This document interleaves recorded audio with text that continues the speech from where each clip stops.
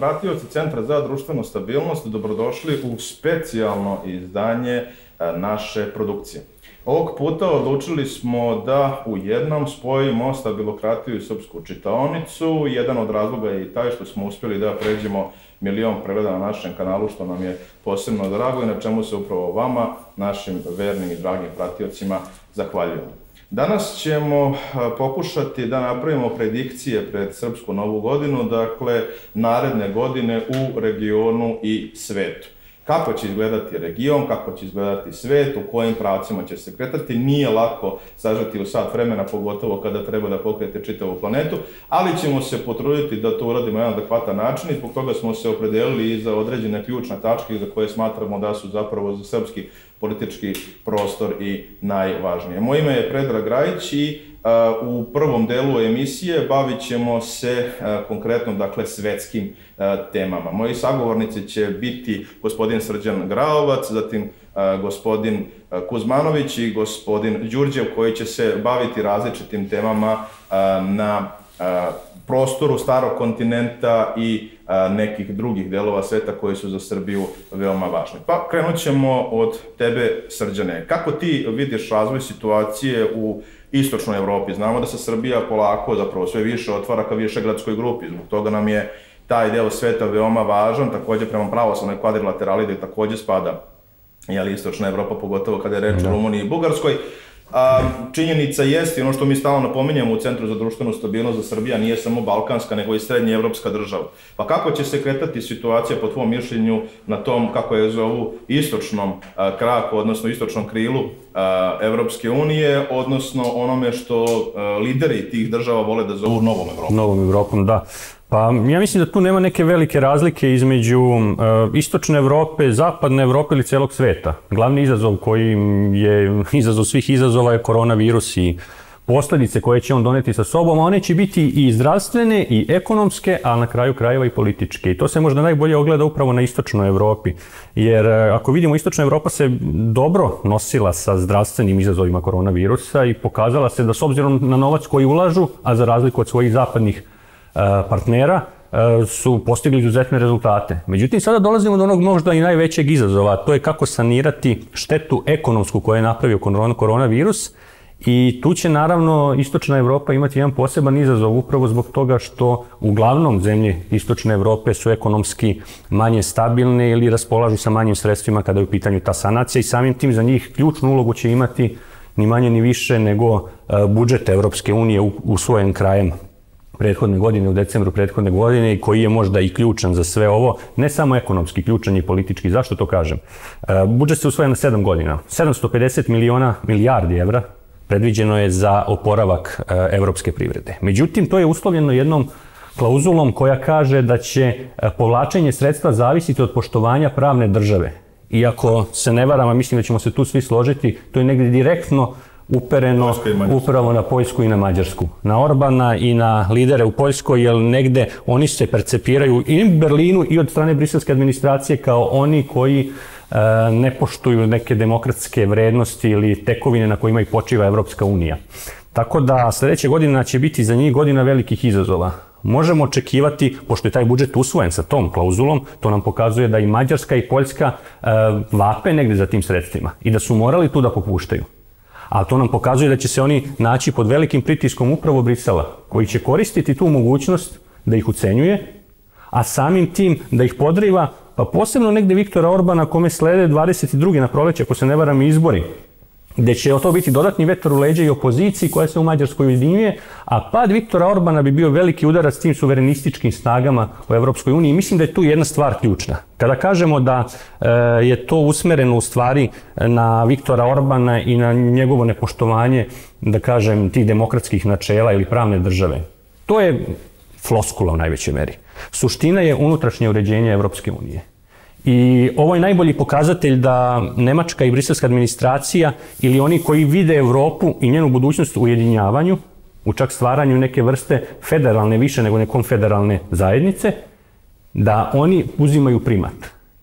I da imaju instrumente da oni koji se zalažu za Evropu nacija, će, koja će funkcionisati dalje po principu da prava veta, da oni u stvari gube svoj zamajac zahvaljujući ovoj ekonomskoj krizi. Jer njihova pozicija je sada daleko teža. O njima su potrebnija ta sredstva nego Nemcima i Francuzima. Oni će morati da prave ustupke, ne Nemci i Francuzi. To će dati jedan zamajac Nemačkoj, ukoliko naravno i izbori u Nemačkoj pokažu da će ta politika biti nastavljena, I mislim da je to jedna ključna stvar e, koja pokazuje koliko je koronavirus ne samo ekonomsko, već i političko pitanje. I kolike će to posljedice imati na Evropsku uniju. I time bi negde zaključio, jer suština svega biće u stvari pokušaj Nemačke, na prvom mestu Nemačke, ali i drugih zemalja Evropske unije, pre svega te stare Evrope, koje se zalažu za čvršće njihovo povezivanje, da iskoriste ovu krizu kako bi slomile potpunosti vlasti u Budimpešti i Varšavi, a na prvom mestu u Budimpešti, jer Orban možda upravlja manjom državom po kapacitetima, broju stanovnika i ekonomije od Poljske, ali je njegov ugled u tom suverenističkom bloku daleko veći. I samim tim to će biti ključna stvar na kojoj će se negde insistirati. Da, sigurno na ruku ide i Trumpov poraz u Americi, tako da ćemo to uvezati i u drugom delu emisije. Ali evo kada pričamo o istočnoj Evropi i tom delu Evropske unije, pogotovo kada je reč o Poljskoj, Rumuniji, te države su uspele poslednjih godina, usuđujem se reći duže od 10 godina zapravo, da privuku veliki broj stranih investicija, prevashodno iz Kine. I to je ono što je interesantno što je zanimljivo i to je jedan od momenta koji predstavljaju uh, a, onako lepotu geopolitike, da vidite, na primjer, da se a, e, ono što bi trebalo biti, jeli, interesi dva partnera, pa i saveznika Rusije i Kine, zapravo tu potpuno razilaze. Zato što ono što Rusiji ne odgovara jeste jačanje tog međumorja, a, koji bi trebalo biti predvođeno Poljskom. Americi to i tekako odgovara i on to politički podržava, ali nije bila spremna da to ulaže previše sredstava, a Kina s druge strane želi da ovakoti svoj kapital i tu su se interesi Kine i Amerike zapravo poklopili. A mene, Kuzmanoviću, budući da si ti između ostalog, inače, e, to je, dakle, naš mladi saradnik, naučnik koji, kog smo uključili u Centar za društvenu stabilnost i želim da ti, e, e, da ka, kažem sve najbolje, jeli, zbog toga što si sada prvi put pred kamerama i uključen si u ovaj naš format, sasvim sigurno ne i poslednji put. Budući da si ti i kineski đak i da dolaziš odande i da si uspeo da upoznaš Kinu iznutra i da shvatiš kako ta velika država i nadolazeća sila funkcioniše. Da li u Kini možemo da prepoznamo uh, sada određeni optimizam nakon Trumpovog poraza, u smislu da oni priželjkuju jeli, obnavljanje odnosa i partnerstva sa Amerikom, jer meni je barem delovalo da je a, ovaj trgovinski rat za njih bio iznuđeno, da ga oni nisu želeli, koji je Trump pokrenuo i s čim će se zapravo u tom Indo-Pacifičkom regionu suočavati sa kakvim sve najvećim izazovima Kina, a budući da imamo narastajuću silu Indije i konstantan, da kažem, pritisak Japana koji naravno nije odušaljen time što ima tako moćnog suseda. Da, hvala ti na, na jako lepoj najavi. Uh, što se tiče 2021. godine, mislim da je prvo jako bitno da pojmovno napravimo razliku između Indo-Pacifičkog regiona i Azijsko-Pacifičkog regiona. Uh mhm. -huh. Dakle, u narednoj godini, odnosno tekućoj godini, imat ćemo nastavak borbe između upotrebe ta dva termina gde se Indo-Pacifik zapravo koristi da bi se na neki način napravila protiv teža Kini zapravo, time što će se potencirati prisustvo Indije u regionu.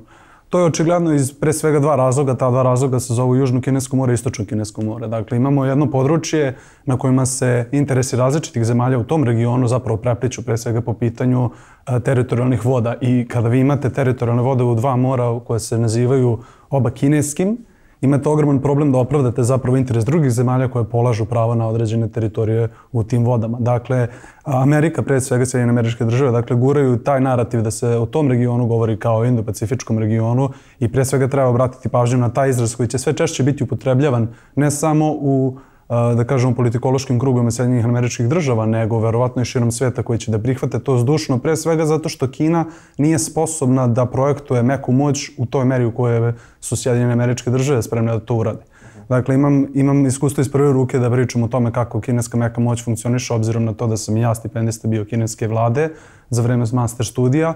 Dakle, iako oni ulažu ogromne napore i ogromna sredstva u stvaranje te neke, da kažemo, kulturne kulturne inicijative koje će da, da na neki način zapravo materializuje tu ekonomsku moć koju Kina ostvaruje u regionu, ne samo azijsko-pacifičkom, odnosno indo-pacifičkom, nego čak i u Evropi, kao što ste dobro primetili. Imamo ogromne propuste koje jednostavno kineska partija, odnosno komunistička partija Kine, neće moći sebi da dozvoli u 2021. godini. imamo jednu, jedan odličan jubilej koji će i tekako da zacementira položaj kineske komunističke partije. To je, dakle, 2021. se navršava 100 godina od osnivanja komunističke partije Kine, što je jedan izuzetno bitan datum. To je jedna od 200 godišnjice na koje treba obratiti pažnju u narodnom periodu. Sledeća je 2049. kada je Narodna republika Kina i konstituisana. Dakle, do tada se predviđa da će Kina, Kina sama smatra da će do tada postati supersila. A do ove godine je komunistička partija predviđala da će Kina, da, odnosno kinesko društvo će postati umereno prosperitetno društvo. Što ono zaista i jeste postalo. Ako pogledamo samo broj ljudi koje je komunistička partija sa svojim programima izvukla iz siromaštva, oni jesu ostvarili zaista impresivne rezultate i to će sigurno da se preslika i na podršku javnosti koja je za sad izuzetno visoka obzirom na to kako je Kina pristupila zapravo koronavirusu. Dakle, pored zaista odličnih rezultata, ne samo na, na polju zdravstva, nego pre svega i na polju ekonomije, vidimo da je Kina u 2020. godini već praktično motor celog regiona sa predviđenim BDP rastom od, ja mislim, čak 8%, dakle 7,9% je projekcija. U ostatku regiona to bi trebalo da bude negde oko 4%. Tu su Japan i Australija interesantno takođe predviđeni negde sa oko 4% rasta BDP-a. Vjetnam se takođe pokazao kao jedna izuzetno bitna, bitna država koja se na odličan način ponela u ovom periodu koronavirusa. Takođe će, nije čak ni doživjela recesiju u toku prethodne godine.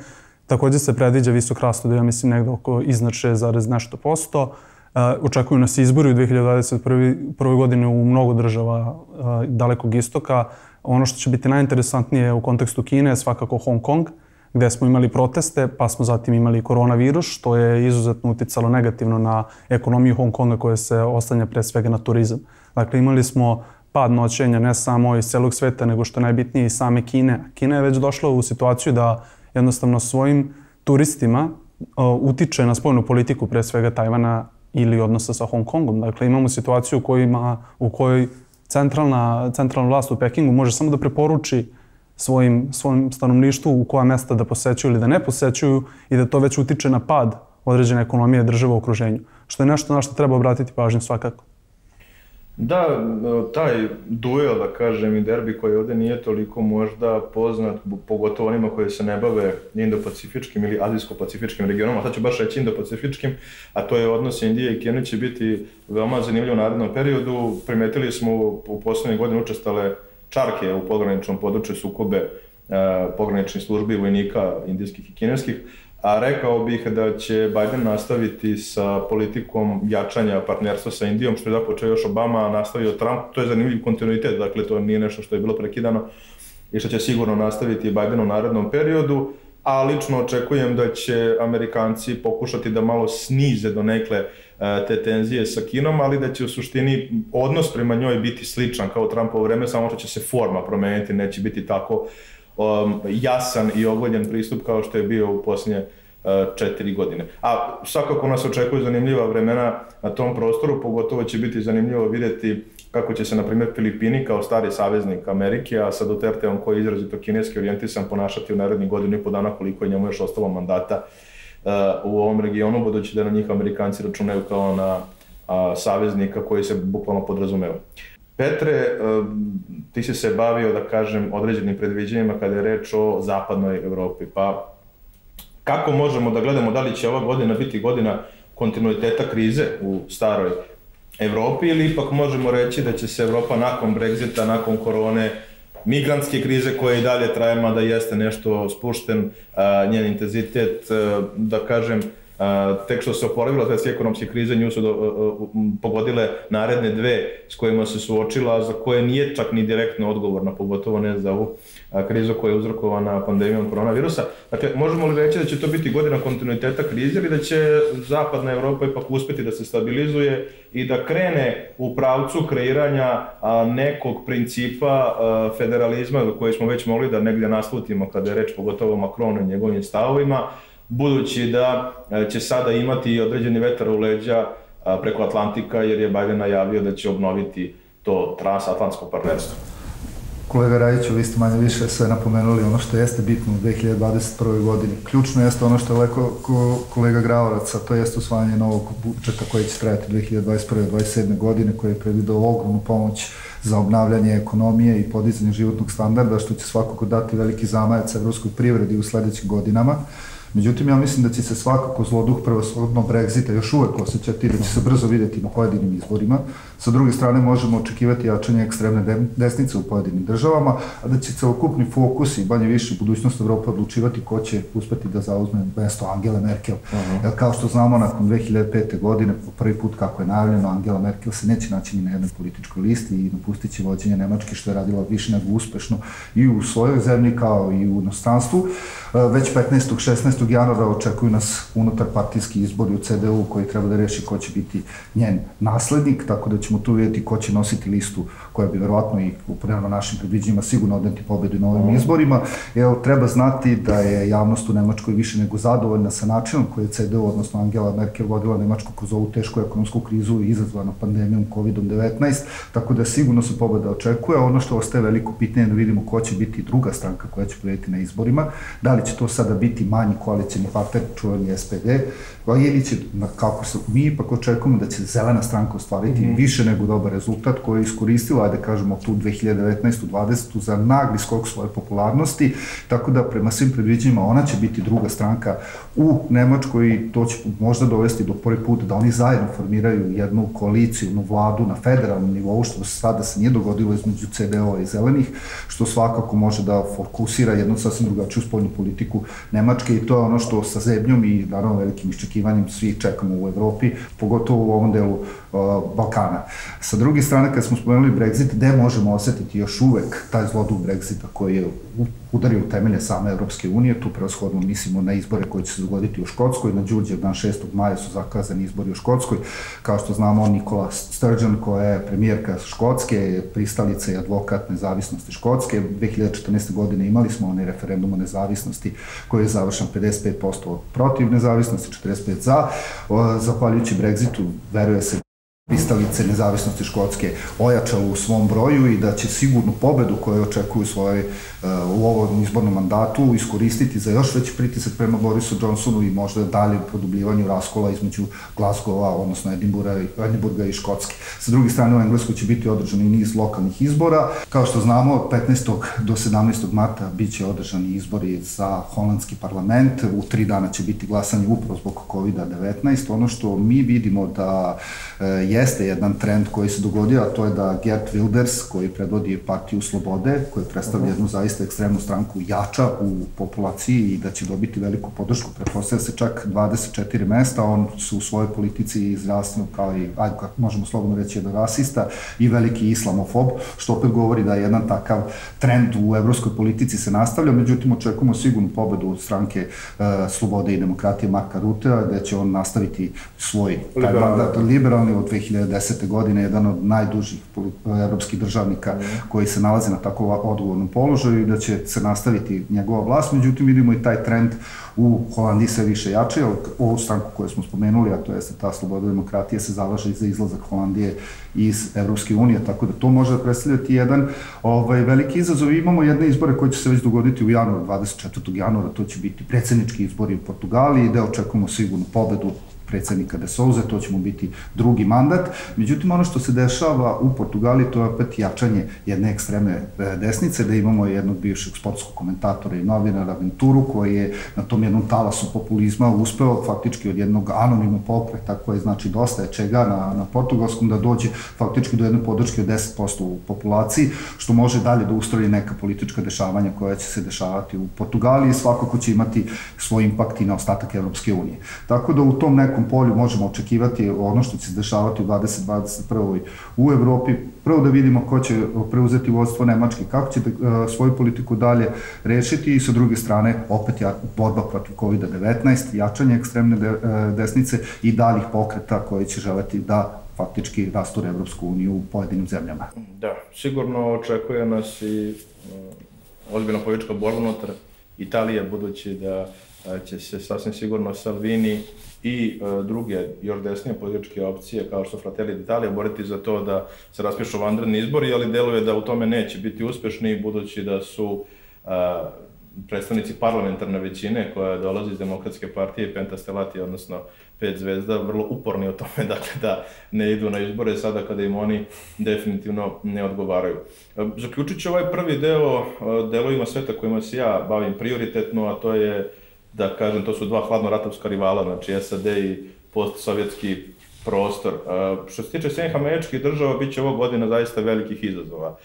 Svedoci smo poslednjih dana jednog noviteta koji nismo zaista nikada imali u Americi, a to je da se definitivno sukobljavaju dva principa, jedan koji kaže borba za bezbednost građana i drugi koji kaže fundamentalno pravo na slobodu reči. Ono što je sasvim sigurno temelj Amerike, a o tome govori osnovno i prvi amandman, jeste da američka vlada ne može da utiče na ograničavanje slobode govora. Međutim, ovde imamo jednu specifičnu situaciju gde društvene mreže koje nisu vladin organ, nego su privatne kompanije, su zauzeli jedan stav gde su neke od njih privremeno, neke od njih čak i trajno kao Twitter blokirale naloge odlazećeg predsednika Donalda Trumpa i ne samo njega, nego su čak se odlučile da u tom nekom ekonomskom smislu, biznis smislu uskrate bilo kakvu podršku i saradnju alternativnim mrežama koje se tamo pokušavaju ustoličiti kao što je Parler, gde smo videli dakle, jednu situaciju gde je bukvalno nekoliko ključnih kompanija američkih odlučilo da im otkaže bilo kakvu vrstu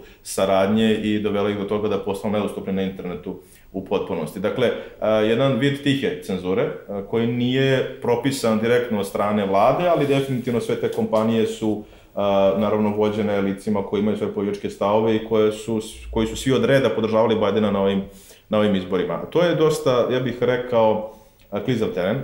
Nisam siguran kako će se to dalje odvijati, to je što Amerika do sada još uvek nije videla i to će za nju biti svakako veliki izazov. Ja se ne bih iznenadio da u nekom momentu zapravo upravo Biden bude taj koji će doći i reći dobro dosta je bilo toga, da hajde da prekinemo sa cenzurom, ja kao predsednik to želim da ublažim i da pokušamo da, kako on kaže, zacelimo rane u Americi. To bi mu verovatno do, donelo i na izvesnoj popularnosti, pogotovo i u tim nekim konzervativnijim krugovima i ne bih se zanadio da zapravo to i jeste neki krajni cilj kompletne ove operacije, ali vidjet ćemo da li će se u tom pravcu ići, da li će to Biden zapravo moći da uradi budući da trpi ozbiljan pritisak sa levice da bude još oštri u stvari prema tim krugovima. Takođe suočavamo se sa fenomenom poslednjih godina, mislim da će on da definitivno eskalira ove godine u Americi sa fenomenom tih uh, obskurnih alternativnih desnih pokreta od kojih su neki zaista već prešli granicu i prihvatljivog i ponašaju se na, na, na način koji a, može da se okarakteriše kao a, opasnost po društvu. Videli smo da tu postoji grupe, budući da je u Americi vrlo lako doći do oružja i da je to takođe jedan od ustavnih prava, dakle da se naoružate, kako oni kažu to keep and bear arms. Dakle, a, gde oni to koriste zapravo da bi a, se borili za ono što oni smatraju da je a, njihova politička ideja, Trumpovi stavovi o tome da je pokraden na izborima koji nisu potvrđeni na jednom sudskom nivou u Americi, a, zapravo tome u velikoj meri doprinose. Biden će se suočiti sasvim sigurno i sa drugom vrstom problema i mislim da je u tom smislu Biden sada pred najvećim izazovima u poslednjih sigurno nekoliko decenija nijedan američki predsednik nije imao ovakvu vrstu izazova. Dakle, društveno-socijalnih i tu raspoloćenost u društvu koja nije bila takva, ja bih se osudio reći, od druge polovine 19. veka, odnosno građanskog rata. Dakle, bukvalno niste imali takvu raspoloćenost u društvu i tako dubok jaz između dve Amerike. One, postoje, one su postojale uvek, ali ovako dubok jaz zaista nikad. Drugo, suočit će se sa a, problemima u ekonomiji u sobstvenoj državi, budući da je korona veoma pogodila Ameriku, pogotovo njen sektor usluga, da su čitave grane malte ne bankrotirale, pogotovo one koje, se, a, koje su se bavile turizmom ili koje su se bavile izvesnim transportom, naročito u vreme lockdowna dakle, krupnim transportom i to će biti ozbiljan problem. Dalje, Amerika je teško postradala od koronavirusa, dakle, kao nijedna država na svetu, zapravo ta brojka sada već veća od 300.000, dakle, ljudi koji su izgubili život od korone, što je više nego što su oni izgubili u svim ratovima od 45. na računajući drugi svetski rat, na 45. na ovamo. Kad se berete sve ratove i vijetnamski i korejski, to nije ni blizu ta brojka koju su imali ovde, dakle, taj, taj broj žrtava. I uh, on će morati da se s tim uh, suoči, s tim da se bori dakle, u narednom periodu i zato mislim da će njegov fokus biti usmeren pre svega interno na samu Ameriku. Uh, trpeće i treći izazov s kojim će se suočiti jeste, na unutrašnjem planu, jeste pritisak levo krila demokratske partije. Mi smo videli na ovim primarisima kao i 16. godine jedan kontinuitet podrške uh, tim, kako oni sami sebe zovu socijaldemokratama, a republikanci vole da ih zovu socijalistima ili čak neokomunistima, dakle, e, što naravno nije tačno, ali definitivno socijaldemokratama koje se zalažu za određena prava građana koje postoje u zapadnoj Evropi, pogotovo recimo u Skandinaviji, ili u državama blagostanja, a to je da imate pravo na besplatno zdravstvo, besplatno školstvo, na, jeli, na obrazovanje, na lečenje, na penziono osiguranje, što je sve potpuno nepojemljivo Amerikancima i opet udara na sam temelj Amerike, jer zašto bih ja plaćao od svoje plate nekome da ima osiguranje za porez, za, za penziju koliko on ne želi da radi. To je otprilike američka logika. I tu se udara na sam temelj to je nešto što republikanci nikada neće prihvatiti a od njega to levo krilo baš zahteva da krene u tom pravcu i da makar nešto od toga ispuni u ovom mandatu. Mi smo vidjeli onaj obiman e, i opširan sporazum koji on potpisao sa Sandersom kada je dobio njegovu podršku na primarisima i zahvaljujući toj podršci i pobedio na ovim izborima, jer da se nešto razumemo, e, Sanders, Aleksandra Ocasio-Cortez, Ilhan Omar, kompletno to levo krilo, dakle, demokratske partije u potpunosti stalo uz Bajdena na ovim izborima i masovno izašlo na ove izbore i glasalo za njega ali ne zbog toga što su oduševljeni Bidenom kao takvim naprotiv, oni zapravo smatraju da je on samo manje zlo od Trumpa, jer se fundamentalno po mnogim pitanjima s njim ne slažu, već zbog toga što je to, kako je to je najbolje zapravo definisala Aleksandra Ocasio-Cortez. Ona je rekla, mi dolazimo na ove izbore i glasat ćemo za Bajdena na ovom referendumu, zato što je pitanje smena Donalda Trumpa za nas pitanje života i smrti. Dakle, na tom nivou je to bilo dovedeno. A, za razliku od 2016. godine, kada je to levo krilo uglavnom bojkotovalo izbore, što je doprinalo porazu Hillary Clinton. Sad se Biden suočava s tim problemom i on uh, je toga svestan. Međutim, vidimo da je on povukao prilično riskantan potez da gotovo nikoga iz tog levog krila nije imenovao u svoju administraciju, to je da ga neće imenovati. Sve manje više jesu kadrovi centrističkog krila koji jeste najbrojnije demokratskoj partiji, ali definitivno ne možete ignorisati 30% sobstvene, sobstvene stranke i tu će trpeti mnoge pritiske i uh, on će pokušati to vjerojatno da hendluje tako što će sarađivati sa Sandersom direktno.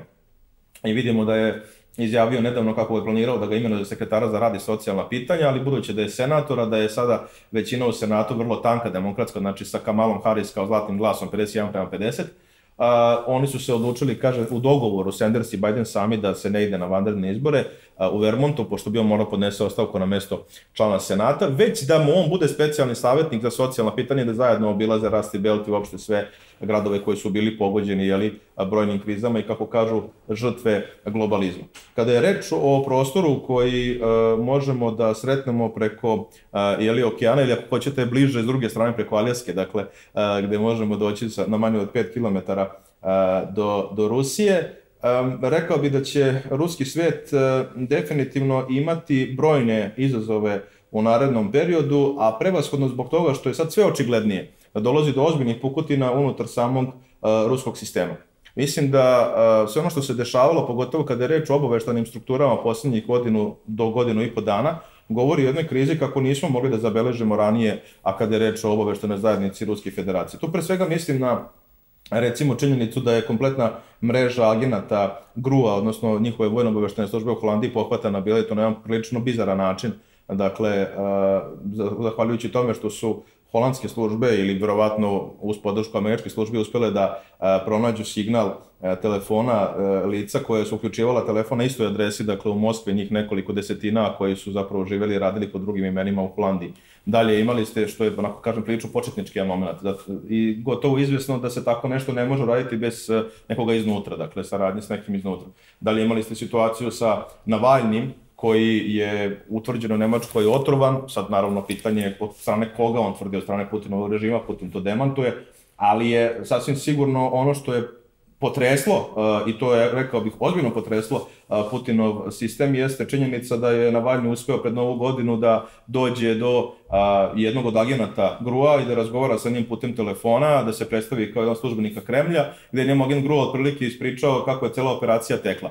I sad vi možete uh, verovati u to da je cijela ta dakle, priča iskonstruisana, ali s druge strane ono što meni deluje da je realnije, da je izvesnije, jeste da očigledno pojedinci samog sistema to namerno rade. Ne realno je da je Navalni sam to uspeo da uradi, dakle sam da nekoga dođe do nekoga i da dođe do tih podataka. Realnije je da je neko iz sistema želeo da na taj način zapravo podrije a, ono što, što Putin čini. A, generalno suočavamo se sa situacijom, a, i to je može biti čudno onima koji se ne bave Rusijom i koji Rusiju posmatraju kao monolitan subjekt, ali ona je zapravo vrlo raznorodna što je logično, budući da je reč o ozbiljnoj velikoj državi i da se tu sukobljavaju sada već sve očiglednije interesi liberala i silovika koji su inače bili uvek suprostavljeni, a pogotovo sada kada liberali već evo šest godina za redom trpe, pogotovo mislim tu na oligarhe koji su njima naklonjeni, trpe ozbiljne pritiske i gubitke zbog e, rata sankcijama između Zapada i Rusije.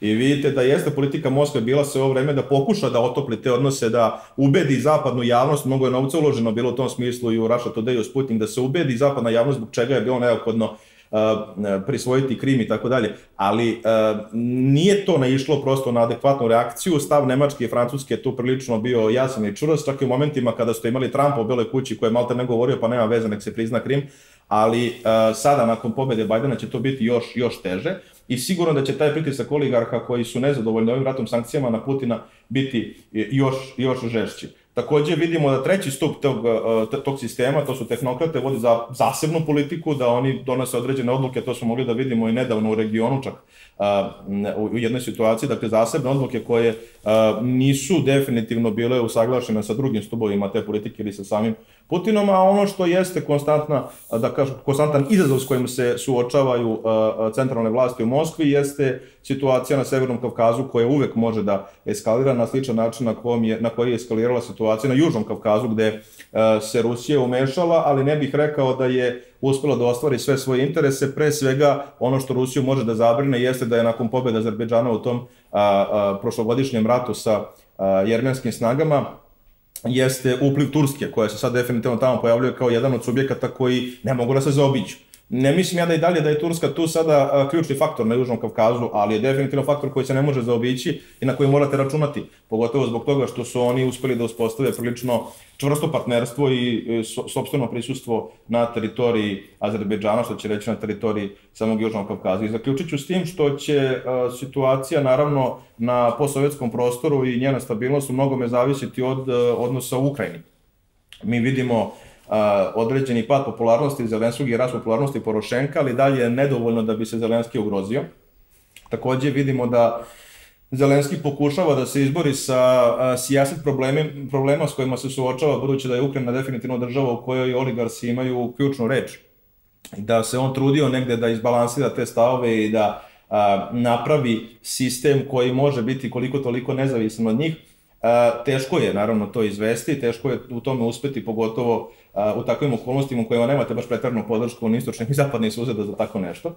Ali ono što definitivno možemo, možemo uvideti jeste da će nakon Bajdenove pobede se situacija promeniti, da će Ukrajina biti ponovo u fokusu, da će Ukrajina dobiti daleko veću podršku u političkom i ekonomskom smislu nego što je dobijala u prethodnom periodu, u prethodne četiri godine. Ja bih vam se zahvalio dakle, na učešću u ovom prvom delu našeg specijala. Trudit ćemo se da nešto slično ponavljamo i u narodnom periodu, mislim da će to gledalcima biti uh, interesantno. Poštovani pratioci, nastavljamo sa specijalnim izdanjem emisije Stabilokratija. Moje ime je Nemanja Starović i kao što možete vidjeti došlo je do promene postavke u našem studiju i sa mnom sad u drugom delu emisije uvaženi saradnici Centra društvenu stabilnost, gospodin Ognjen Kranović, Nikola Žeželj i Nikola Banjec. Na ovom drugom panelu, dakle, okolo specijalne emisije, bavit ćemo se uglavnom prognozama i predikcijama vezanim za ovaj naš balkanski region, ali da ne bismo ostali dužni našim gledalcima, negdje za početak ću uzeti sebi za pravo da iznesem nekoliko teza vezano za to šta možemo očekivati na širem prostoru Bliskog istoka u 21. godini. Niko od nas naravno nema kristalnu kuglu i ne možemo sa sigurnošću otvrdimo da će se nešto dogoditi ili neće dogoditi, ali možemo da uočimo određene procese koji su započeti još u godini i godinama koje su iza nas i da damo, kažemo, određene meritorne predikcije, pre svega vezano za to na koje ključne ili neuralgične tačke bi trebalo obratiti pažnju, dakle, svi mi koji se negde bavimo spoljnom politikom i međunarodnim odnosima u 2021. godini. Naravno, dva su faktora koje će uticati na zbivanje na Bliskom istoku, kao što je to slučaj širom planeta. Jedan je pandemija koronavirusa i, naravno, pre svega ekonomske, političke i bezbednostne posledice. I drugi, veoma važan faktor, to je promjena predsjedničke administracije u Sjedinjenim američkim državama. Na širom prostoru Bliskog istoka jedna ključna tačka koju zaista valja veoma pažljivo posmatrati dakle, jeste region Persijskog zaliva, odnosno konkretno, dakle, eventualni pokušaj Bajdenove administracije da na neki način reguliše odnose sa Islamskom republikom u Iranu, odnosno pokušaj da se ili obnovi ovaj postojeći pa napušta nuklearni sporazum iz 2015. godine ili pak pokušaj da se na tim temeljima napravi nekakav malo ili bitno drugačiji sporazum. Sve to izaziva naravno veliku nervozu kada govorimo o regionalnim rivalima Irana, pre svega u Saudijskoj Arabiji, u Izraelu, ali i među drugim manjim zalivskim, zalivskim monarhijama, uključujući recimo i nekakve, pa moram da kažem, pomalo čudne prve izjave intervjue koje je davala sada već nova podpredsednica njih američkih država Kamala Harris koja je govorila o nekakvom bolje balansiranom pristupu Sjedinjih američkih država Bliskom istoku, nešto što apsolutno nije prijelo, dakle, recimo Izraelu. Naravno, kada govorimo o odnosima Amerike i Izraela, nikada neće biti napušten koncept strateškog partnerstva, ali taj intenzitet jednostrane podrške koje su dobijali od strane Trumpove administracije, čini mi se da neće biti toliko, toliko prisutan.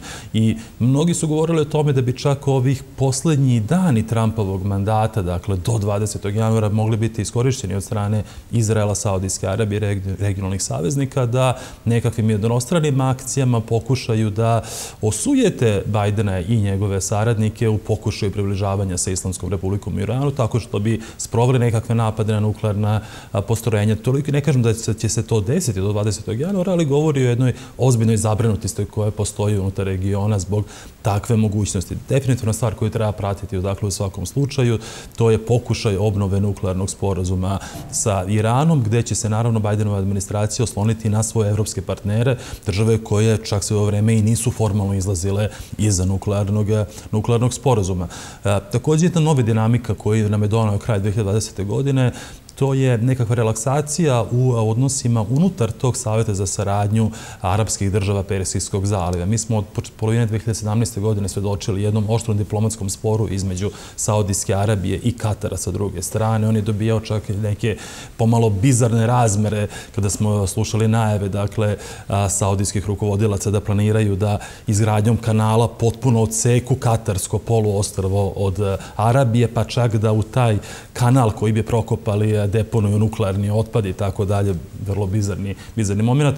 E, svemu tome je došao kraj posle tri i po godine i evo sad pre svega nekoliko dana smo videli i taj, e, to ritualno rukovanje, grljenje između pripadnika kraljevske porodice, dakle, odnosno kuće Saudi, kuće Al, Altani. Naravno, druga stvar, pored pitanja Irana, koje kažem, uvek nabijeno velikim tenzijama, jeste i pitanje odnosa između Izraela i države Palestine, odnosno palestinske samuprave, kako je ko tretira. Pokušaj Trumpove administracije je očigledno bio neuspešan. Taj veliki plan za Bliski istok na kojem se godinama radilo, koji je predstavio Trumpov zeti specijalni savjetnik Jared Kushner, je doživeo, moramo da kažemo, neuspeh zbog toga što ga palestinska strana nije čak ni uzela u razmatranje. Ali ja ne očekujem zapravo nekakvu bitniju promenu dinamike. Mi prosto vidimo procese koje traju već godinama, koji su se negdje iskristalizovali možda u poslednjih godinu, dve dana, a to je da palestinsko pitanje postaje sve manje i manje važno za arapske države regiona. Daleko od onog situacije koje smo imali 60-ih, 70-ih, pa delom 80-ih godina, gde je to bilo ključno pitanje koje je definisalo i prosto na neki način ustrojavalo odnose širom Bliskog istoka. Sada je to palestinsko pitanje, nažalost, samih palestinaca, naravno, otušno neki drugi, ako čak ne i u treći plan. I ja čak verujem da će ova dostignuća Trumpove administracije sa, naravno, aspekta Izraela, to su normalizacija odnosa Izraela sa pojedinim arapskim državama, kao što su Jedini Arapski Emirati, Bahrein, Sudan i Maroko, da će ta dostignuća negde biti održana, pa moguće da će se ti procesi u narednim godinama i nastaviti. Nekoliko još ključnih tačaka na tom širokom području Bliskog istoka koje ćemo svakako veoma, veoma pomno pratiti. Svakako je Libija.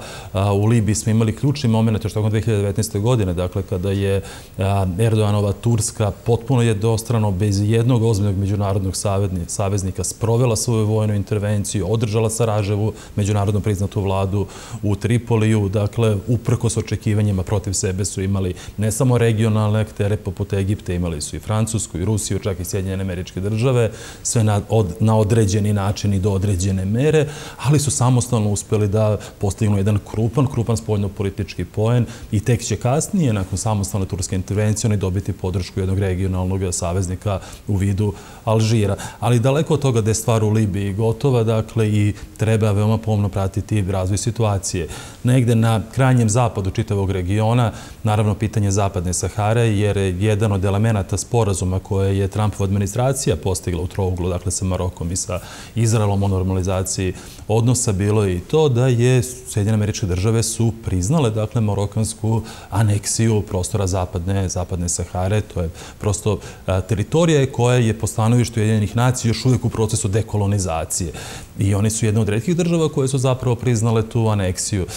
Neće biti lako Bajdenu da odustane od takve odluke. Nije lako velikoj državi da derogira dakle, takvu vrstu, takvu vrstu odluka, ali se bojim da bi to upravo u 21. godini moglo da dovede do određenih nestabilnosti. Znamo da pobunjenici Polisario fronta imaju podršku u Alžiru, tamo se nalaze izbjeglički kampovi, da to rivalstvo između Maroka i Alžira može postati sve izraženije. U 2020. godini obe države su krenule sa nabavkom sofisticirane vojne opreme, opreme uključujući dakle i avione, lovce bombardere četvrte i četiri plus generacije i kažem, to stvara jedan koktel koji bi mogao biti eksplozivan. I da ne oduzimam previše vremena, naravno, Turska, veoma važna država koja spaja region Bliskog istoka sa našim balkanskim poluostarom, važan nečinilac i na Bliskom istoku, i na Kavkazu, i na Balkanu. Država koja je u 21. veku ostvarila nesumnjivo velike uspehe za 15. godina od 2002. do 2017. utrostručilo obim svoje ekonomije, ali će od 2018. godine ušlo u svoju vrstnu stagnaciju. Ta stagnacija, naravno, se dešava i odvija na daleko višem nivou nego što je to bilo početkom 21. veka, ali opet moram da kažem da negde već i suviše dugo traje, već pune tri godine. Dakle, nema ozbiljnijih ekonomskih perspektiva, lira se nalazi pod udarom, veoma je nizak nivo direktnih stranih investicija, izvoz Turske se ne oporavlja dovoljno velikom brzinom, a imamo naravno sad i efekt korona krize koju ni Tursko nije zaobišao. U svemu tome, dakle, upreko s tim problemima, Turska uspeva da ostvari određene spoljno-političke uspehe na tom planu spoljne politike i bezbednosti. Tri vrlo efikasne intervencije u Siriji od 2016. godine, pa nadalje tri zone pod njihovom kontrolom koje su uspostavili. Ostaje pitanje provincije Idlib koje će opterećivati odnose Turske i Rusije, čini mi se u 2021. godini, bez puno izgleda da bude do kraja i rešeno jednostranom pobedom pobunjenika koje podržava Turska ili pak režima u Damasku koje podržava Ruska federacija. Ali ono sa čim želim da zaključim, to je da ova 2021. godina za Tursku nosi određenu opasnost da se negde i suviše prenapregne. Prosto Turska projektuje svoju političku pa i tu vojnu moć na i suviše mnogo vektora, na suviše mnogo pravaca prema Siriji, prema Južnom Kavkazu. Videli smo dakle veliki uspeh u vidu pobede, pobede njihovih mlađe azerbejdžanske braće na Gorno Karabahu. Projektuje dakle svoju silu prema Libiji, ima sporu istočnom Mediteranu na osnovu koncepta plave otečbene, odnosno pokušaja proširenja teritorijalnih voda na uštrba Grčke i Kipra. I u svemu tome, dakle, dolazi opasnost da igra sa jakim kartima, jakim adutima, ali na suviše mnogo frontova u isto vreme.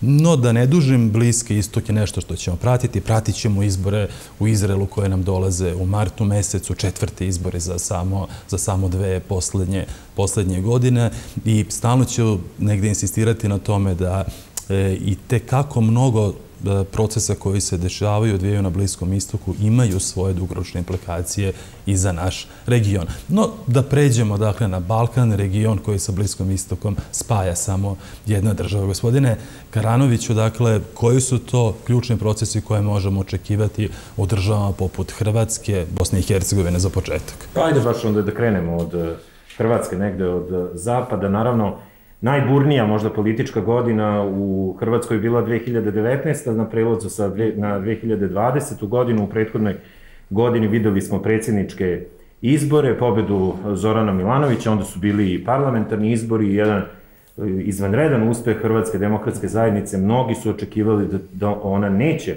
učvrstiti svoje pozicije u vladajućim strukturama. Na talasu Milanovića je pobeda, se očekivao da. bolji rezultat socijaldemokratske partije. Očekivao, ja nisam lično očekivao bolji rezultat socijaldemokratske partije, zato što je u nekoj prethodnoj, ajde da kažemo, poludekadi, dakle u nekih prethodnih pet godina socijaldemokratska partija u Hrvatskoj se suočavala zaista sa mnogim izazovima. Pre svega unutar, jeli, e, svoje stranačke strukture. Nesrećna odluka da idu na direktan izbor predsednika Bernardića. Da. Tako je, Bernardić e, je bio vrlo neharizmatičan, nepopularan e, lider unutar SDP-a. On je bio u permanentnom sukobu sa vojstvom SDP-a, sa već veteranima. Sa skoro svim poslanicima. Tako je, da, ali najviše što kažu za Rankom Ostojićem, ovdje kako ga u Hrvatskoj zovu Ostojem Rankovićem.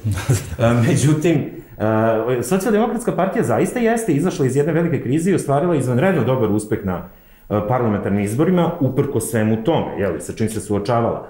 Uh, međutim, mislim da je u tome mnogo doprineo i Andrej Plenković, koji je nakon, parla, nakon predsjedničkih pa onda i parlamentarnih izbora zaista sebi sad obezbedio jednu čvrstu lidersku poziciju kao državnika, a i kao lidera Hrvatske demokratske zajednice. Mislim, da će on i u narednom periodu nastaviti svoju politiku, negde preoblikovanja, transformisanja HDZ-a u klasičnu centrističku partiju po ugledu, na primjer, na CDU u Nemačkoj, dakle da ona dobije ta obeležja demohrišćanske evropske stranke, što onda sledstveno znači da bi on trebao da nastavi da, po znacima navoda, kolokvijalno to kažem, čisti stranku od onih neoustaških kadrova ili krajnje će, desnice. Mislite da će sve to negde valorizovati na lokalnim izborima koji stižu u maju mesecu? Kratak je rok, naravno, za to, to izbori su u maju mesecu. Uh, nije on još ni postigao, dakle, taj uspeh, odnosno nije on postigao taj rezultat kojem teži već, hajde da kažemo, isto pola decenije.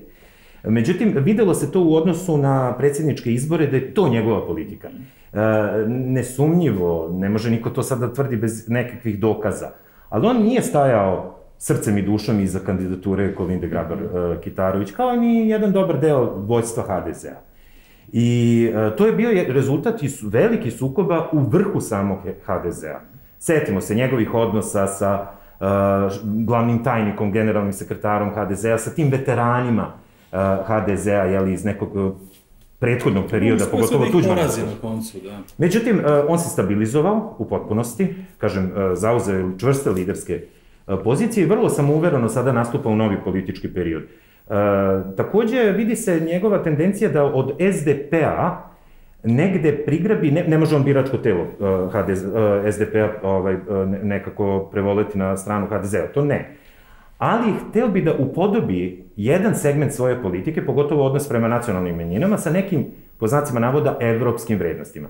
Pa onda pravi jedan široki front ili otvara stranku za mogućnost saradnje sa svim nacionalnim zajednicama, prvenstveno sa srpskom nacionalnom zajednicom, ublažava retoriku, ali tu i dalje koristi već oprobanu metodu korišćenja jeli, upotrebe i štapa i kanapa, gde on češće upotrebljava štap nego, ne, e, i šargarepe, pardon, štapa i šargarepe, gde on češće upotrebljava štap nego šargarepu i opet na štetu srpskih interesa, odnosno e, interesa srpske nacionalne Moram da te pitam, kada već si došao do tog mesta, izbori u maju, e, očekivanja vezano za opredeljenja srpskih birača, odnosno Srba u Republici Hrvatskoj, tradicionalno najviše Srba glasa za SDP. Da li će da. Plenković nešto dobiti ovim? Šta će dobiti ili izgubiti Zato SDS on, zbog one kontroverzne odluke da odu na proslavu godišnjice? Zato je on, on je tražio svoje vrstan kompromis. Dakle, da SDSS kao najuticajniju -huh. stranku sa srpskim nacionalnim preznakom da negde e, privoli na saradnju sa HDZ-om. U osnovom, oni su i ranije bili u koaliciji, SDSS ima... Pa ste za vreme Karamarka stalno. A jeste, ali e, SDSS ima jednu tu, po meni, pametnu strategiju da budu uvek uz vladajuću strukturu na državnom političkom da. nivou, što je potpuno razumljivo.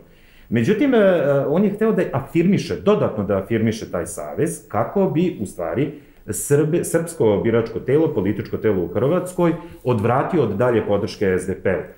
Pa je onda, ali je to morao nekako da pomiri sa tim desničarskim da, da. ili krajnje desničarskim krugovima unutar svoje stranke, pa je onda uh, jeli, dao visoko pozicionirana mesta u svojoj vladi predstavnicima SDSS-a, ali pod uslovom da oni na neki način ha, pokažu neki, neki uh, blagonokloni stav prema zločinačkoj e, tu smo, smo došli do... Ovaj, uh, operaciji Oluje. I e, to će se verovatno odraziti na srpsko biračko telo i na poziciju SDSS-a, ali je jako bitno da oni budu i dalje oprezni, da ne, ne, ne, ne prave takve incidente i da sačuvaju svoje jedinstvo. To je naj, najbitnije. I ne, nešto što je najvažnije, prelazimo na Bosnu i Hercegovinu, zapravo to se i nadovezuje na temu Bosne i Hercegovine. Andrej Plenković i Zoran Milanović sada nalaze pred ozbiljnim pitanjem e, položaja Hrvatske nacionalne zajednice u Bosni i Hercegovini i pitanja već najavljivane opasne, opasne, opasnog predloga uh, uh, transformisanja Dejtonske Bosne i Hercegovine, odnosno rekonstrukcije Dejtonskog sporazuma. Ali samo tome oni bi mogli dobiti jednog čekivanog saveznika ili... U Srbiji. Ne mislim samo na to, već e, jasno je da Valentino Insku ističe, dakle, Jeste, mandat visokog predstavnika. Ali imamo već najavu novog, dolaska mm, novog Da, a koliko to zaista bude Christian Schmidt iz e, Bavarske hrišćansko-socijalne unije, radi se osobi koja je veoma bliska hrvatskim stanovištima. Vidjet ćemo kako će se on ponašati kada dođe u Sarajevo, ali u Hrvatskoj se gaje određene nade. Christian Schmidt će slediti politiku svoje države na prvom mestu. Naravno i nekih već utvrđenih aksioma međunarodne zajednice u odnosu prema uređenju Bosne i Hercegovine. Mi znamo da Angela Merkel, uh, pa i administracije pre nje, a verovatno i posle nje, će stajati na stanovištu potrebe transformisanja Dejtonskog sporazuma, što mi prevodimo da će stajati na pozicijama, dalje, da, pozicijama daljeg procesa unitarizacije i centralizacije. Misliš da će ti procesi biti negde dodatno postaknuti sad nakon promjena u Beloj kući, da će doći Svakako. do pojačanog pritiska Svakako. na Republiku Srpsku? Upravo takvi procesi će sada biti dodatno osokoljeni. Ne znači da će oni uspeti. Dejtonski sporazum je međunarodni ugovor gde su garantu, garanti tog ugovora uh, potpisnici od strane pet, čini mi se tada velikih sila, predstavnici pet velikih sila, između ostalih i Nemačke, i Evropske unije, i predstavnici Sjedinjih američkih država, Rusije i tako dalje. A da ne govorimo i o regionu. I Zagreb i Beograd su garanti Dejtonskog sporazuma i da bi se menjao tekst tog sporazuma, mora da postoji saglasnost svih strana, svih potpisnica Dejtonskog sporazuma. Za sada te saglasnosti nema. Ali oni mogu nekim unutrašnjim mehanizmima, upravo preko institucije visokog predstavnika, Saveta za implementaciju Dejtonskog sporazuma, koji dalje postoji. Strani sudija u Ustavnom sudu. Tako je. Oni mogu uh, određenim zakonskim aktima, po bonskim ovlašćenjima iz 1997. godine, visoki predstavnik i dalje ima to pravo. Ma da ne koristi. Insko nije koristio zadnjih 10 godina. Insko nije koristio jer je svestan da niko od struktura, odnosno od političko-pravnih struktura ili državnih organa, entitetskih organa Republike Srpske ne bi sprovodio te odluke i da bi se onda Bosna i Hercegovina našla u dodatno Da, da li misliš da i dalje postoji taj nivo političkog jedinstva u Banja Luci ili istočnom e, Sarajevu u tom smislu da zaista nema relevantne političke ličnosti koje bi prihvatila to da dođe negde na vlast ili bude postavljena na vlast od strane visokog predstavnika? Nema. Dakle, po cenu odustajanja od nadležnosti Republike Srpske. Ne, ne, ne, relevantne političke ličnosti po meni nema da postoje pojedini politički lideri, lideri određenih stranaka koji su možda spremni i na taj nivo, ajde kažemo saradnjama, da je to vrlo upitna reč u ovom kontekstu i kontroverza, Uh, mislim da, da oni definitivno postoje, ali kakav je njihov uticaj u biračkom telu ili u političkom telu Republike Srpske i među srpskom zajednicom u Bosni i Hercegovini, onda je to veliko pitanje. Čak i kada bi neko u tom smislu, opet pod znacima navoda, preumio, pa odlučio se na, na takvu vrstu saradnje po pitanje po pitanju uh, derogiranja interesa, da. interesa Republike Srpske, mislim da bi uskoro završio političku karijeru u Republike Srpske. Na, u Bosni i Hercegovini mi ćemo, a to se opet nadovezuje na Andreja Plenkovića i Zorana Milanovića, mi ćemo imati na sceni pokušaj, dakle, unitarizacije i centralizacije. Zaboravljaju pritom uh, oni koji, koji podstrekavaju te procese da se zbog toga i vodio rat, odnosno da je zbog toga izbio rat u Bosni i Hercegovini, međutim njih to baš puno i ne zanima. Zoran Milanović se ovde postavio vrlo čvrsto. On je pokazao jedan žestok otpor mogućnostima jeli, prekrajanja Dejtonskog sporazuma i Dejtonske Bosne i Hercegovine. Andrej Plenković je stao negde na njegova stanovišta, ali vrlo stidljivo za sad. Verovatno to ima veze negde sa pozicijama Berlina, zvaničnog Berlina u odnosu na ove procese. U samoj Bosni i Hercegovini, mi smo videli na prethodnim lokalnim izborima u oktobru, pardon, u novembru ove godine, da je e, zaista u Federaciji Bosne i Hercegovine došlo do jačanja takozvanih građanskih stranaka, odnosno građanističkih političkih partija, bez jasnog nacionalnog predznaka, mada većina tih građanskih e, političkih partija u bošnjačkom političkom telu e, su zapravo delovi, nekadaš, nekadašnji delovi stranke demokratske akcije. U međunarodnoj zajednici, odnosno pre svega u, u delovima Evropske unije i u Sjednjim američkim državama kod onih struktura koji podržavaju uporno već 30 godina bošnjačko političko telo i njihovu viziju Bosne i Hercegovine, Oni su procenili da je potrebno istisnuti bošnjački, nacionalistički ili nacionalni element u politici bošnjačkih političkih elita. Da treba dodatno afirmisati taj takozvani građanski, koji bi onda bio prihvatljiv, po njihovim merilima, svim građanima Bosne i Hercegovine, a na prvom mestu bošnjacima. I uh, videlo se da to ima određenog uspeha kod Bošnjaka, ali ne iz tih razloga, nego zato što su oni vrlo nezadovoljni lokalnom politikom lokalnih lidera koji dolaze iz stranke demokratske akcija u samoj Federaciji Bosne i Hercegovine. HDZ je nastavio naravno da suvereno vlada nad hrvatskim političkim telom, a što se tiče Republike Srpske, mi smo videli jednu pobedu Saveza nezavisnih socijaldemokrata, međutim, e, videli smo i poraz e, stranke Milorada Dodika u Banja Luci kada je reč o izboru gradonačelnika i eto, mladi Draško Vuković je postao gradonačelnik. To će svakako ojačati pozicije opozicije pred predstojeće opšte izbore 2022. godine. Ja se ne bi iznenadio da Draško Vuković postane negde vođa opozicionog pokreta, odnosno da stane negde na Megdan Miloradu Dodiku, ali nisam siguran da on može poraziti Miloradu da. Dodika, makar ne sa ove pozicije. Da, upravo to što u ovoj godini neće biti izbora, može da otvori prostor za te nekakve pritiske, ambicije, da se upravo u, u narednom periodu, u 21. godini, e, insistira na tom ustavnom preuređenju. S tim što Draško Stanivuković mora da, ako se to sad imputira njemu, ovaj, da bi on bio taj novi politički lider koji bi bio spreman da pogazi Dejtonski ustav Bosne i Hercegovine pa i, Republi i ustav Republike Srpske, ja mislim da bi on onda završio političku karijeru. Ja ne znam njegove lične motive i da li on zaista toliko širokogrud prema različitim političkim idejama da je spreman pogaziti apsolutno sve. Uh, ne mogu o njemu da sudim, mi ga još nismo ni videli na, u toj velikoj političkoj areni, kakve su njegove, mi ni ne znamo šta, šta su njegove političke pozicije. Usudit ću se da kažem da osim određenih demagoških mera nismo imali priliku puno toga da, da vidimo. Na demagoškim merama je on, u stvari na, na demagogiji je on i pobedio Banja Luci, to je moje negde iskreno mišljenje. I na kraju je i posle te pobede nastavio je da to, da, da upravo tako, da to budu njegovi prvi potezi kao gradonačelnika neke demagoške mere ukidanja. Ognjene, pratit ćemo, da. pratit ćemo ove godine veoma pomno, dakle, političku dinamiku i u Zagrebu, i u Banja Luci, i u Sarajevu, ali da pređemo na Crnogoru. Dakle, Nikola, to je a, država koju veoma pažljivo pratiš. Burna 2020. godina je uslovila verovatno i to što predstavlja naše očekivanje u 2021. Tako je, ako, ako ne jedina, ono su jedno od malog broja zemalja gde korona sigurno ne je bila na prvom mestu kada su u pitanju dešavanja u 2020. godini, ali ono što će biti implikacije korone u 2021. godini će zasigurno biti, čini mi se, centralna tema u Crnoj Gori, Misliš, a, to je, a to je ekonomija, upravo mm -hmm. tako.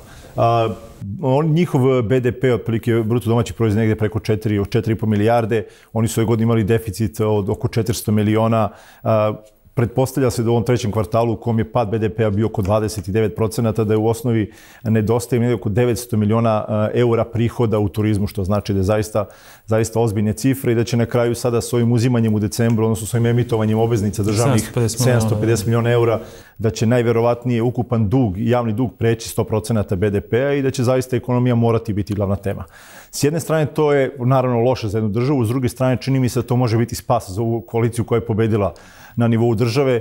Prosto videli smo da od onog dana, od onog 30. augusta, kada je, kada je koalicija, kada su pobedili ove tri, ove tri koalicije, odnosno od dana kasnije kada je potpisan ta neki sporazum u četiri tačke, da su nastale trvenja i problemi i da na kraju I nije... I potrošili su puno tri meseca. Da, Tako je, tek su 4. decembra oformili, oformili vladu i videli smo da na formiranje te vlade u stvari manje je uticalo 41 poslanik u parlamentu, više je uticalo ko ima koliko ambasada iza sebe da oni koji su nesporni pobednice, tako kažemo, iz te tri koalicije, to je ovaj demokratski front i za budućnost Crne Gore, da praktično nemaju svoje predstavnike, nemaju svoje predstavnike, da iako se veliki broj članova vlade izjašnjavaju kao Srbi, mi još uvijek nismo videli da to iz ugla Srba kao jednog dela veli, u velikom procentu naroda u Crnoj Gori i čini neku korist. Međutim, čini mi se da su svi tamo učesnici u političkom procesu dobili loše karte što se njih samih tiče i da koliko god vlada ili ovi učesnici u koaliciji koji su pobedili, a nemaju svoje predstavnike, imaju, imaju loše opcije, da jednako loše opcije ima i Milo Đukanović, odnosno DPS. Prosto videli smo sada na primjeru usvajanja ovog izmena ovih zakona, ova četiri člana zakona o slobodi veroispovesti, ono što je on uradio, vratio je taj zakon. On ima mogućnost, pošto 20. januara se ponovo će biti skupština, ponovo ćemo se naravno taj izmenjeni zakon proslediti na, na ovaj, da, da ga potpiše.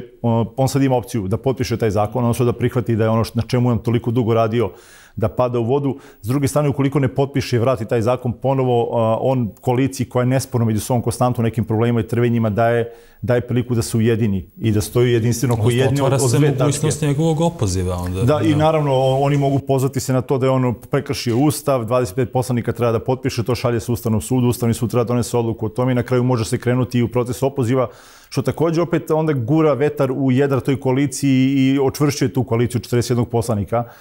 Ono što stoji kao problem, naravno, jesu ta trvenja unutar, unutar vladajuće koalicije, gde, kao što smo videli, predstavnici Srba, pre svega Milan Knežević i Andrija Mandić su bukvalno žrtvovali se, bili su žrtvovani deceniju nazad, a onda su se žrtvovali i rekli, evo, nećemo ni učestvovati u vladi, pružit ćemo i blanku podršku, očekujući od nje jako mali broj u suštini koristi za, za srpski narod. Ono što po meni se čini politička kao... kretanja? Ko je negde dobitnika, ko je gubitnih e, procesa ovih nekoliko meseci? Pa, za, za, Od izbora, sada, recimo, pa do danas. Za sada, ono što je nesporno i što će se vjerojatno vidjeti na izborima jeste da DPS uh, gubi, da unutar DPS-a postoje Govoriš određeni... lokalnim određeni... izborima koji se odvijaju tokom ove godine. Tako je. Uh, imamo 14. aprila već imamo zakazane izbore u Nikšiću, Marta, zatim Marta. Marta, Marta, zatim krajem aprila, početkom maja najvjerojatnije će biti izbori u, u Herceg Novom i negde za kraj novembra su zakazani izbori, odnosno će se najvjerojatnije desiti izbori e sad, u Nikšić, Da, Nikšić bi mogao biti jako dobar reper s obzirom pa, Nikšić, i na nekakvu da. i nacionalnu i socijalnu strukturu, dakle, tog grada i relativno veliki broj. Tako je, tako je, oko 60.000 ljudi, 58.000. Daleko bolji pokazatelj nego neke druge opšte. Tako je, oko 58.000 ljudi glasa u Nikšiću, on je zaista podeljen grad, on bi zaista mogao reći, moglo bi se reći da on Crna Gora u malom. 2017. godine DPS i, i socijaldemokrati su jedini izašli na izbore, pa su samim tim jeli, izašli da, kao biti uporedivi rezultati. Nisu, da. nisu čak ni 2013. uporedivi jer su tamo desili ponovljeni izbori nakon preletanja i nekih ozbiljnih problema, tako da bukvalno mi nemamo reper kad su ti izbori u pitanju, ali ono što znamo, to je da su, na primjer, na izborima 2020. godine ovi predstavnici te vladajuće koalicije eh, na lokalnom nivou u zbiru, da. da, imali, imali 20, 2017. oko 23.000 ove dve, eh, ove dve stranke, a 2020. godine na ovim državnim izborima, a na teritoriji Nišića su socijaldemokrate, socijaldemokratska partija i DPS zajedno imali negdje oko 21.000 glasova, dok su ovi predstavnici sada vladajućih, vladajućih stranaka negdje oko 28.000 glasova imali, što znači više od skoro 35% glasova su imali više. Očekuje se ipak da će na kraju Nikšću odneti pobedu. 23. januara je zakazana i, uh, i zakazan kongres DPS-a. Kažem, iako postoji onako ozbiljne suglasice i probleme unutar DPS-a, ja sam po priču siguran da se neće ništa posebno desiti. Organizovat će online uh, kongres na nekih 25 lokacija u Crnoj Gori, da se neće ništa posebno desiti uh, u, na tom kongresu i prosto misli se čekati izbori u Nikšiću i da se neće desiti onaj Boris Tadić efekat iz 2014. da će neko pocepati stranku pred veoma značajne izbore. Kažem, čini mi se da će na tim izborima u Nikšiću se pokazati da je DPS u padu, kao dobitnici deluje mi da će, s obzirom da je Nikšić zaista podeljen grad, da će ova koalicija za budućnost Crne Gore ili za budućnost Nikšića, vrat će se tako zvati, biti dobitnici kada je Nikšić u pitanju, a kada je nivo države u pitanju, čini mi se da postoji šansa da demokrate i njihov mir je naša nacija. Oni vidimo i ova 3-4 mesta se ponašaju tako, nema ih toliko u javnosti. Vidimo da je Dritana Bazović sa Urom onako da je popričao agresivan u medijima, da su u medijima agresivni ovi predstavnici koji su pobedili, a nemaju svoje predstavnike u vlasti. Vidimo da je DPS naročito a, naročito prisutan i agresivan u medijima, ali vidimo da demokrate, na primjer, sem tog predsjednika Skupštine, nemaju ni svoje učesnike u izvršnoj vlasti i da su onako povučeni. Sad, da li je to prava taktika? Čini mi se saznaćemo na nekim narednim. Da, neko kaže da im donosi rezultate i samo još jedno kratko pitanje, ali pod pitanje, e, naravno popis stanovništva, hoće li ga biti na koji način u Crnoj Gori tokom ove godine i drugo pod pitanje, očekuješ li da Krivokapićeva vlada opstane do kraja ove godine? I mislim da su tada pitanja apsolutno povezana. Ukoliko bude u stanju da valjano organizuje taj popis, Krivokapićeva vlada ima šanse da preživi 2021. godinu ukoliko se desi da ne budu u stanju i ne budu imali snage da, da organizuju izbore onako kako ti to od njih zahtevaju pre svega njihovi glasači, a mislim da već popis, organizuju popis, popis naravno, sa nacionalnim da popis verskim tako izjašnjavanjem. Tako je, ukoliko se to ne desi, mislim da u 2021. godini, vjerojatno onim novim barskim izborima lokalnim da će biti vezani za iz ove republičke izbore da se desiti pad vlade. Ono što čini mi se zaista jeste ključni, ključni moment 2021. godine jeste to organizovanje popisa. Znači, da li će ili neće imati snage. Ovo kad sam već pomenuo ekonomiju, čini mi se da sem tog pitanja izglasavanja ovog zakona da je jedino ekonomska tema jeste tema na kojoj ova vlada i ova koalicija trenutno vladajuća može da funkcioniše. Pokazalo se koliko su štetnih stvari učinili, pre svega Montenegro Airlines jedna od tema koja je bila otvorena. Vidimo da zbog problema s kojima se suočili nisu još ni, ni budžet usvojili, da su oni trenutno privremeno finansirani, se očekuje da će u martu biti konačno usvojeni budžet za 2021. godinu i da će, kažem, ekonomska tema i tema popisa će onako odrediti, odrediti da li će ta vlada preživjeti 2021. godinu. Meni se čini, s obzirom na to na koliko su oni krenuli na dozvoljavanje kompromisa ovoj glasnoj manjini, da je sva prilika da neće biti u stanju da organizuju popis kako valje da ćemo vratno imati ponovo republičke izbore. Pratit ćemo to svakako veoma pomno. E, Nikola, kada govorimo o Balkanu, ne možemo da zaobiđemo, dakle, jedan deo našeg poluostrva koji je bio dosta politički turbulentan u 2020. godini. Naravno, da govorimo o odnosima između Skoplja i Sofije. Činjenica da je Severna Makedonija pristala na tako neverovatne ekstenzivne kompromise, sve zarad nekakve svoje evropske budućnosti, kompromise na identitetskom planu, promjena imena države, sve ostalo da bi na kraju dobili rampu od svojih e, istočnih e, suseda. Kakvi su to i odnosi trenutno i šta možemo da predvidimo, ako je uopšte moguće, dakle, kada govorimo o političkoj dinamici u odnosima Sofije i Skoplja, ali i o samoj Bugarskoj i Severnoj Makedoniji? Pa eto, na tom primjeru se pokazalo da je u stvari na području Balkana izuzetno značajan faktor istorijski e, i odnosi koji su... E, da proizvodimo, proizvodimo više istorije nego što možemo da stvarimo. Tako da. je, tako je, nego što se može konzumirati. Tako da je e, očigledno ta istorijska dimenzija tog problema u stvari dominantna ovaj put, budući da Bugarska pokušava da e, svojom e, političkom akcijom, imajući u vidu parlamentarne izbore u martu koje treba da se održi u Bugarskoj, pokušava da nametne kao dominantnu u odnosima sa Makedonijom jednu temu koja se pre svega tiče tiče istorijskih dešavanja na prostoru Balkana vezano za čuveno makedonsko pitanje, odnosno Vardarsku Makedoniju. To, je, to su je pitanje koje je E, daleko sežno još od e, balkanskih ratova i pre toga. E, zatim za Bugarsku to je ostalo kao otvorena rana koju oni sada evo, na ovaj način pokušavaju na neki način da kompenzuju. Makedonska politika je verovatno imala prevelika očekivanja i za, zaigrala je na kartu preko premijera Zajeva na kartu da će biti na neki način zaštićena od svojih zapadnih partnera, međutim sve što je učinila, a učinila je više nego što se može e, očekivati od jedne Ne samo prema Grčkoj, već i prema Bugarskoj. Pa ja moram da spomenemo intervju premijera Zajeva bugarskim medijima, gde govoreći o drugom svetskom ratu, on kazao, dakle, imamo cenu na delu intervju, da je, su bugarski fašistički okupatori bili nekakva administracija koja je tu postojala Da, prilično skandalozno. To je terminologija koju je u stvari preuzeo od bugarskih historičara. Praktično on je ovaj, tu na taj period na, na bugarofilski način mm -hmm. opisao. Interpretirao, da. Tako je. I, međutim, e, nije se desilo ništa. Bugarska je uložila veto za dalje priključenje Makedonije Evropskoj uniji i mešovite komisije istoričara i političara koje rade na pokušaj normalizacije i otkočivanja tog cijelog procesa su i dalje aktivne, a što bi rekli e, šta će biti to... A na širem planu, dakle, da li zaista treba da verujemo da jedna Bugarska ima toliko političku snagu, toliko snažan glas u Briselu da može da zaustavi neke procese za koje se navodno zalažu svi ostali u Evropskoj uniji? Odnosno, da li je Bugarska možda e, zapravo proksi nekih drugih moćnih unutar Evropske unije, a da vladajuća garnitura naravno tu situaciju koristi da bi pospešila svoj rejting? Pa to je verovatno ključno pitanje. Međutim, ja pokušavam, e, kada sagledavam taj ceo problem, ovaj, pokušavam da ga posmatram, kako je to rekao jedan e, srpski političar iz e, istorije, kaže, ja sam petao koji kukuriče na svome bunjištu, njegovo mm -hmm. ime je Milan Stojedinović, i on je pokušavao da to po, sagleda taj ceo proces iz perspektive e, interesa Srbije.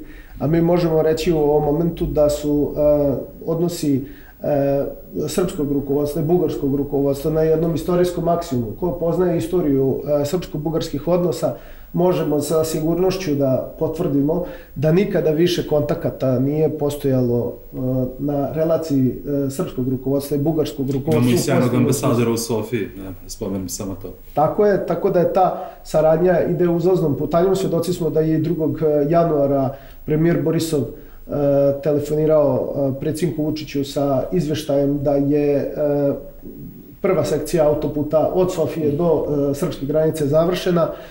ko je jednom tuda prošao zna o kakvoj se žili kucavici za turske državljane koji putuju prema Istanbulu i dalje radi, radi se o milionskim profitima za turske državljane koje radi u Nemačkoj i koji prelaze preko tog izuzetno značajnog koridora, jer je sa srpske strane autoput završen, a ova deonica koju sada Bugari rade i... E, znači autoput, gasovod, infrastrukturno je. povezivanje Beograda i Sofije. Pa to su cene koje nikad nisu viđene. Prevazilaženje da, da, nekakvih ostataka gvozdene zavese tako u svakom smislu. Tako je.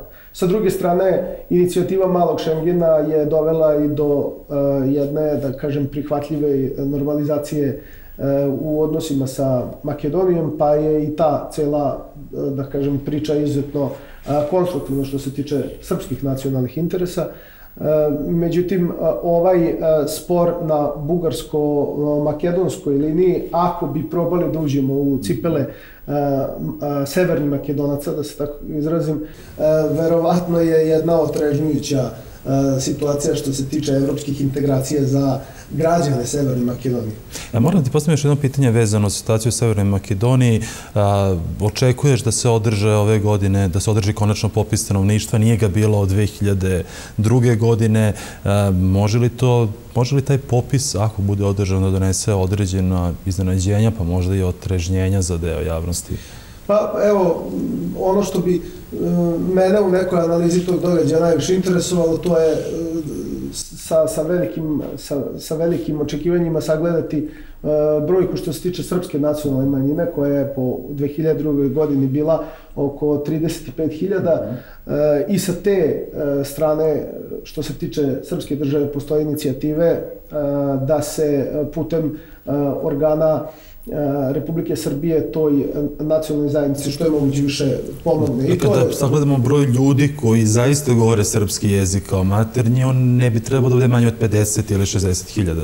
Tako je, to je sasvim sigurno, da, pa neke su procene da je to mnogo veća brojka nego ovo što je po zvaničnom popisu, budući da je proces Pa treba se samo setiti jedne stvari, Lazar Koliševski još 46. godine spalio sve krštenice a, ovaj, koje su u Makedoniji postojale sa prezimenom na ići i tako dalje. Ima vrlo komplikovana jedna situacija.